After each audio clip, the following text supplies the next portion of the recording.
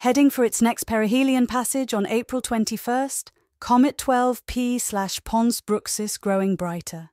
The greenish coma of this periodic Halley type comet has become relatively easy to observe in small telescopes, but the bluish ion tail now streaming from the active comet's coma and buffeted by the solar wind is faint and difficult to follow.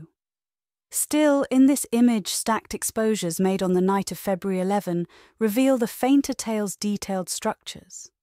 The frame spans over two degrees across a background of faint stars and background galaxies toward the northern constellation Lacerta. Of course, Comet 12P's April 21st perihelion passage will be only two weeks after the April 8th total solar eclipse, putting the comet in planet Earth's sky along with a totally eclipsed sun.